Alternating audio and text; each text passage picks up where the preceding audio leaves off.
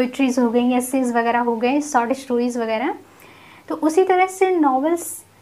has also a certain framework और design that is called structure of novel जिस तरह से कोई पोएम हो गया या कोई बिल्डिंग हो गई, कोई मशीन हो गई, उसको प्रिपेयर करने के पहले पहले उसका स्ट्रक्चर एक रेडी किया जाता है। उसी तरह से नॉवल भी। Plot is the first requirement of novel and this is the first step और base of structure of novel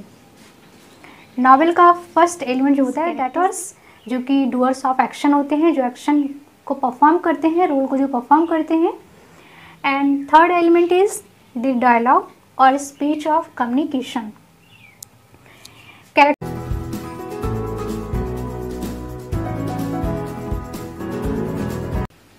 hello students welcome back to my channel Pragya B N M A English literature so guys in this video too we are going to study about the topic elements of novel आज के इस video में हम elements of novel को discuss करेंगे and this is in unit first literary terms literary terms में अभी तक हम लोगों ने प्लॉट करेक्टराइजेशन वगैरह को पढ़ लिया है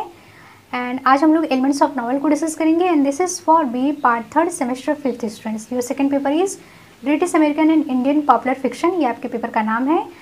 सो so, आज के इस वीडियो में हम एलिमेंट्स ऑफ़ नावल को डिस्कस करेंगे। सो so, अगर आप यूपी स्टेट यूनिवर्सिटी के किसी भी कॉलेज से आप अपडेटेड हैं वहाँ से आप स्टडी कर रहे हैं तो ये वीडियो आपके लिए काफ़ी इंपॉर्टेंट है क्योंकि सभी के लिए कॉमन सिलेबस है। तो आज हम कंटिन्यू करेंगे एलिमेंट्स ऑफ़ नावल और लास्ट वीडियोज़ के लिंक आपको डिस्क्रिप्शन बॉक्स में मिल जाएँगे। आप इस वीडियो को वॉच करने के बाद जाके वॉच कर लीजिएगा। या तो आप चैनल पर जाके प्ले में आप चेक कर लीजिएगा। वहाँ पर आप BA part third semester fifth आप सर्च करेंगे तो वहाँ पे आपको सीरियल वाइज से आपको वीडियोस मिल जाएँगी। तो कंटिन्यू करते हैं हम आज का वीडियो आज हमें स्टडी करना है यूनिट फ़र्स्ट लिटरेरी टर्म्स में एलिमेंट्स ऑफ़ नावल हमने plot characterisation narrative technique and structure ये डिस्कस कर लिए हैं। आज लास्ट पॉइंट है एलिमेंट्स ऑफ़ नावल इसे डिस्कस करना है। सो so, सबसे पहले हम इंट्रोड्यूस कर लेते हैं नावल से। So what is the novel novel is a story in prose novel is a story in prose in present century present century में जितने भी लिटरेरी फॉर्म्स हैं, चाहे वो पोइट्री हो ऐसे हो, या जो भी लिटरेरी फॉर्म्स हैं, उन सभी में नावल बहुत ही ज़्यादा फ़ेमस है। सबसे ज़्यादा पॉपुलर प्रेजेंट सेंचुरी में नावल ही है। एंड इसके ओरिजिन की बात करें so its origin in medieval romance medieval romance से इसकी ओरिजिन हुई है। मिडिल एजेस में रोमांस वगैरह लिखे जाते थे तो वहाँ से इसकी ओरिजिन हुई है। So which used to be fantastic tale of love and adventure medieval romance में लव और एडवेंचर से रिलेटेड स्टोरीज लिखी जाती थी. And novels mean something of a new type आप इसको एक तरह से एक लाइन में राइट कर सकते हैं about the novel and next point is structure of the novel आप चाहे तो इसे नोट डाउन कर सकते हैं या तो आप यहाँ पे समझ लीजिए, आप बाद में आप अपनी नोटबुक में, अपनी लैंग्वेज में आप राइट कर लीजिएगा. So what is the structure of the novel novel के बारे में मैंने लास्ट वीडियो में भी आप लोगों को बता रखे हैं थोड़े बहुत तो आप इंट्रोड्यूस हो चुके हैं ऑलरेडी नॉवल से। यहाँ पे थोड़ा आप डिटेल्स में जान लीजिए about the elements of novel so what is the structure of novel like other forms of literature novel has also a certain framework और design which is called structure of novel जैसे बाकी other literature forms हैं poetries हो गई essays वगैरह हो गए short stories वगैरह। तो उसी तरह से novels has also a certain framework और design that is called structure of novel जिस तरह से कोई पोएम हो गया या कोई बिल्डिंग हो गई, कोई मशीन हो गई, उसको प्रिपेयर करने के पहले पहले उसका स्ट्रक्चर एक रेडी किया जाता है। उसी तरह से नावल भी है। नावल का भी इसका पहले एक स्ट्रक्चर प्रिपेयर किया जाता है, उसके बाद नावल राइटिंग होती है। उसी तरह से नावल का भी एक स्ट्रक्चर होता है ओके एंड एस टोटल ने टोटल सिक्स एलिमेंट्स बता रखे हैं ड्रामा के, जिसको मैंने लास्ट वीडियो में आप लोगों को रिवाइज कराया था। आई होप आपको याद होगा लर्न होगा। Number one plot character thought melody diction and spectacle ये सभी ड्रामा के एलिमेंट्स हैं अकॉर्डिंग टू अरिस्टोटल जिसमें कि plot too very very important and drama में और नॉवल में भी यही एलिमेंट्स होते हैं। जो एलिमेंट्स ड्रामा में होते हैं, वही एलिमेंट्स नॉवल में भी होते हैं। बट यहाँ पे लास्ट में डिफरेंस ये होता है कि ड्रामा में स्पेक्टिकल होता है और नॉवल में क्या होता है कि फिलोसॉफी ऑफ़ लाइफ नॉवलिस्ट की जो फिलोसॉफी होती है पॉइंट ऑफ़ व्यू कह सकते हैं नॉवलिस्ट की, वो होती है नॉवेल्स के एलिमेंट्स में। तो ये डिफरेंस है। बाकी ड्रामा एंड नॉवेल्स के दोनों के एलिमेंट्स सेम हैं। And plot is the very important plot का प्लेस जो है वो फ़र्स्ट है फॉरमोस्ट है। इसके बाद नंबर आता है सेकेंडरी कैरेक्टराइजेशन का। उसके बाद थर्ड आता है डायलॉग या थॉट बोल सकते हैं। एंड डब्ल्यू एच हटसन ने डब्ल्यू एच हटसन ने भी सिक्स एलिमेंट्स बताए हैं। Plot characters dialogue time and places of action style and implied philosophy of life ये सभी डब्ल्यू एच हटसन ने बताया है। सिक्स एलिमेंट्स नॉवेल्स के एलिमेंट्स बताए हैं डब्ल्यू एच हटसन ने। So the first element in novel is the plot you can see the plot plot is the first requirement of novel and this is the first step और base of structure of novel novel का first element जो होता है that is the plot चाहे वो drama हो या novel हो दोनों में ही जो फ़र्स्ट एलिमेंट होता है that is the plot and plot को एरिस्टोटल ने ट्रेजिडी का शोल भी बोला है इसे मैंने आप लोगों को लास्ट वीडियो में ऑलरेडी इंट्रोड्यूस कराया है plot is based on the story plot story पे बेस्ड होती है बट जो स्टोरीज़ होती हैं that is the collection of episode और उनका आपस में कोई कनेक्शन नहीं होता है किसी भी सोर्स का बट प्लॉट का क्या होता है कि जितने भी एपिसोड्स हैं, जो भी इंसिडेंट्स हैं, जो भी सीरीज़ हैं सीरीज़ ऑफ़ एपिसोड्स उन सभी का आपस में एक लिंक्ड होता है, एक कनेक्शन होता है. So that is the plot फिर next element is the characterization next आता है करेक्टराइजेशन जो उसमें कैरेक्टर्स होते हैं, जो नॉवेल्स में जो कैरेक्टर्स होते हैं they are the doer of the action and they performs the role and they suffers plot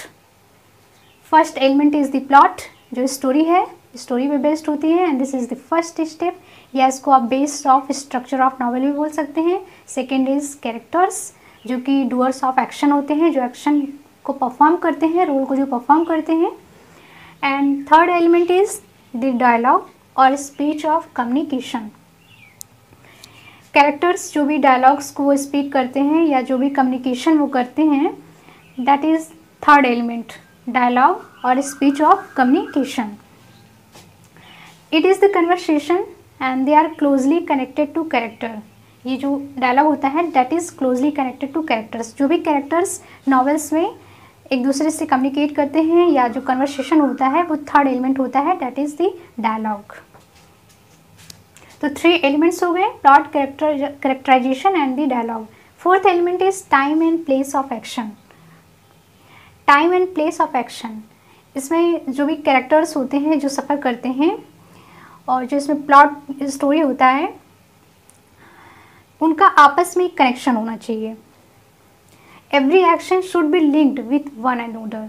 जो भी एक्शंस इसमें हो रहे हैं कैरेक्टर्स के थ्रू वो सभी एक्शंस लिंक्ड होने चाहिए with one and other and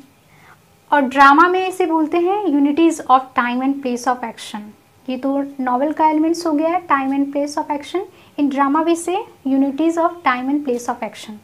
and fifth element is problem of style problem of style जैसे कि plot and characters they are the first and second elements in the novel उसी तरह से style is the advancement of the structure जिस तरह से different different ये जो सभी एलिमेंट्स हैं, ये इनको हम बोल सकते हैं कि they are the different pillars of the structure of novel तो उसी तरह से स्टाइल क्या है? Style is the advancement of the structure जिस तरह से ये सभी बाकी पिलर्स हैं। And the last element is philosophy of life philosophy of life philosophy of life ये ऑथर्स का पॉइंट ऑफ़ व्यू होता है, जो भी नॉवलिस्ट या ऑथर जो होता है, वो अपना फिलोसॉफी देना चाहता है रीडर्स तक, या अपना मैसेज जो वो पहुंचाना चाहता है रीडर्स तक that is the last element philosophy of life तो इसको ऑथर्स का पॉइंट ऑफ़ व्यू भी बोलते हैं, और इस फिलोसॉफी ऑफ़ लाइफ को या इस पॉइंट ऑफ़ व्यू को वो दो तरीके से रीडर्स तक पहुँचाता है। First one is two ways हैं. First one is direct method and second is indirect method direct method means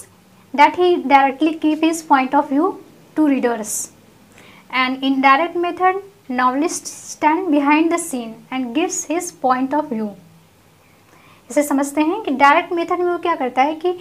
that means novelist उस नॉवेल्स में वो खुद एक कैरेक्टर होता है और उस अपने कैरेक्टर्स के थ्रू डायरेक्टली वो रीडर्स तक अपने मैसेज को वो कन्वे कर देता है। और इनडायरेक्टली मेथड का मीन्स ये है, ये मतलब है डैट कि नॉवलिस्ट कैरेक्टर्स के थ्रू जो भी वो अपने कैरेक्टर्स को चूज़ करता है नॉवेल्स में, उन कैरेक्टर्स के थ्रू वो अपनी मैसेज को, अपनी फिलोसॉफी को रीडर्स तक कन्वे कर देता है।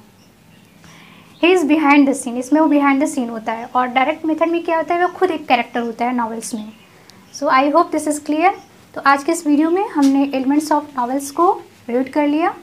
सभी बेसिक्स को, सभी इंपॉर्टेंट पॉइंट्स को हमने क्लियर कर लिया कि नॉवेल्स में सिक्स एलिमेंट्स होते हैं plot characters